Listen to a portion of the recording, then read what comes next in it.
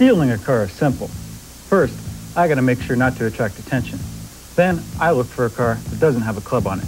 Hey, I've only got a few seconds to steal the car, and the club makes my job a lot tougher. So if you want to keep your car, club it. When it comes to protecting your car against theft, you should be using the Club anti-theft device. The city of McAllen, Texas proved just how effective the Club is. After developing a vehicle anti-theft program featuring the Club, auto thefts were reduced over 43%, resulting in annualized taxpayer savings of over $10 million. During the program, users of the club were over 99% successful in eliminating auto theft. Accept no imitations. Make sure the anti-theft device you buy says the club on the handle. This holiday season, give the gift that lasts all year long. Give the Club Anti-Theft Device. The Club Anti-Theft Device, available at better stores everywhere.